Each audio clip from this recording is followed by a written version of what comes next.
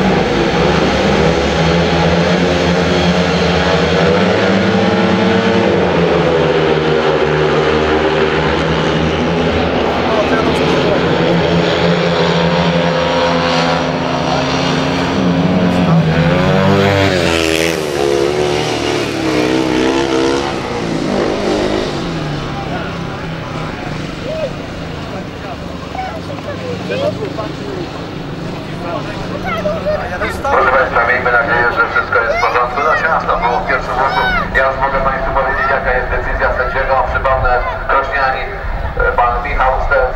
Oczywiście powtarzamy wyścig czteroosobowy w obsadzie.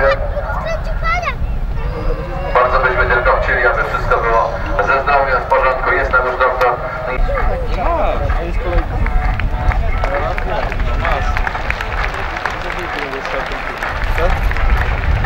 Proszę.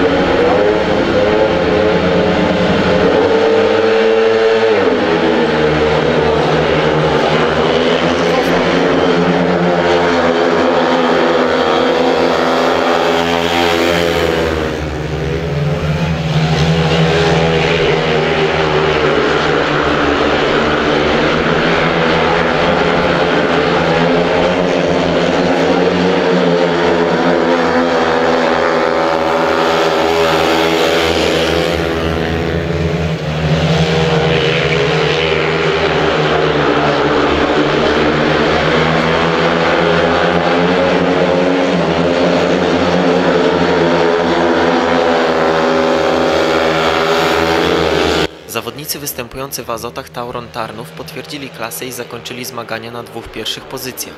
Pierwszy był Kołodziej, drugi Janowski. Na najniższym stopniu podium uplasował się Paweł Miesiąc. Awans do półfinału zyskało jeszcze czterech żużlowców. Mirosław Jabłoński, Maciej Kuciapa, Jakub Jamruk i Artur Czaja. Dodatkowo jako rezerwowy wystąpi ósmy w Krośnie Mariusz Fierlej. Najlepszy z gospodarzy Adrian Szewczykowski uplasował się na 12 miejscu. Panie Mirku, dosłownie kilkanaście sekund po biegu, w którym zdobywa Pan dwa punkty. Jak Pan ocenia rywalizację w tym konkretnym biegu? A, powtórka, że tak powiem. W pierwszej odsłonie prowadziłem, ale Maciek się wywalił. Później e, znowu prowadziłem, ale już ten tor jest taki, że będąc spokojny awansu nie ryzykowałem, bo takie zawody przyjeżdża się awansować, nie walczyć o zwycięstwa i mam nadzieję, że krościeńscy działacze zrobią coś z tym torem, bo naprawdę ciężko tu się jeździ. Jak takie przeciągające się przerwy wpływają na postawę zawodnika? Czy są deprymujące, dekoncentrujące? strasznie to dekoncentruje, strasznie rozkojarza i trzeba keep focus, trzymać skupienie non-stop, ale jest to bardzo trudne w takich sytuacjach, ale mi się udało, drugi przyjechałem i mogę cieszyć się już z awansu. Są fale jak na morzu podczas sztormu, 10 skali Beauforta i naprawdę jest to wyczerpujące i trudne do jechania, no. Ale taki jest żużel. Niektórzy w Ekstralidze narzekają, że jakieś lekkie dziurki, nierówności są, to zapraszam do crossa.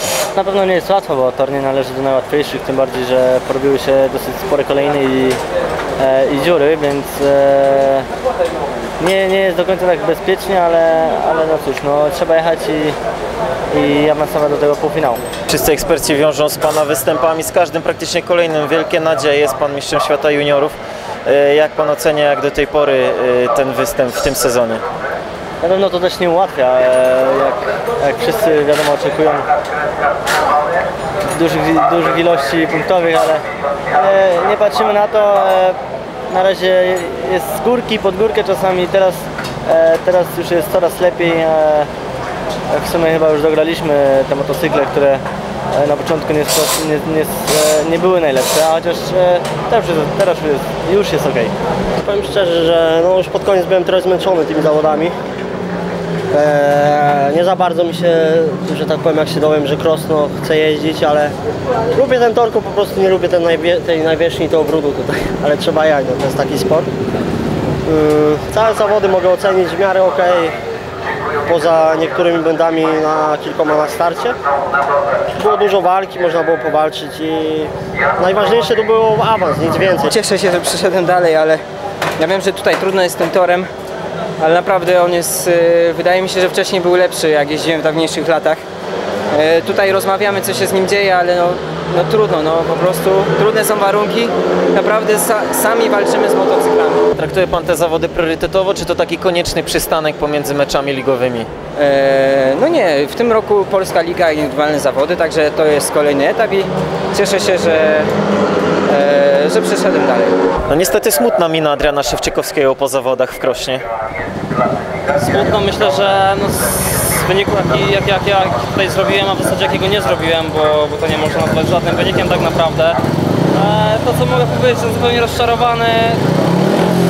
Nie wiem, nie wiem tak naprawdę co się dzieje, bo jest to, jest to, jest to silnik, który sprawował się bardzo dobrze tutaj i, i w Krośnie i też jechałem tym silnikiem akurat w Rybniku. Wszystko było tak naprawdę dobrze pasowało. E, a dzisiaj tak naprawdę silnik nie reaguje zbytnio na żadną, można powiedzieć, zmianę. E, I no, o tyle jest to gorsza sytuacja, o tyle, że, że nie bardzo wiem tak naprawdę tutaj teraz, e, w czym to, w czym, w czym szukać, w czym tkwi problem, bo czy, czy jest to może prąd, czy może coś na rozrządzie się przedstawiło, czy w silniku tkwi problem. No, ciężko teraz to zdiagnozować tak na, od razu na gorąco, dlatego e, no, to zupełnie, no to po raz kolejny są to duże dla mnie problemy. Na pewno będziemy robili wszystko, czasu mamy niewiele, bo jutro piątek, sobota i w niedzielę mecz. Tego czasu jest niedużo, ale na pewno mogę obiecać, że no, zrobimy wszystko, będziemy siedzieli tak długo, aż mam nadzieję coś znajdziemy i, i, i uda się coś, e, coś wykombinować tak, aby to drgnęło do przodu. Ostatni wyścig za nami, jak Pan ocenia występ swoich podopiecznych? No i podopieczni pojechali dobrze. E, Z czterech e, zawodników trzech awansowało. E, Wygrał Janusz Kołodziej, drugi Maciej Janowski. Kuba Jamrok również pewnie awansował, także odpadł Dawid Lampard. Także no 75% e, udany występ. Tor w Krośnie jest taki sam. E, nawet myślę, że dzisiaj nie był najgorszy, że niekiedy tutaj były gorsze warunki. No po prostu no tak, tak ten tor jest od wielu lat. Klub e, po prostu na co go stać, to, to po prostu to robi. Chwała po prostu działaczom tutaj miejscowym, że przy takich problemach finansowych yy, ten żużel tutaj się po prostu kręci, a widać, że zainteresowanie kibiców jest, bo przecież dzisiaj było dużo ludzi. Także ja, ja jestem pełen uznania dla, dla miejscowych działaczy.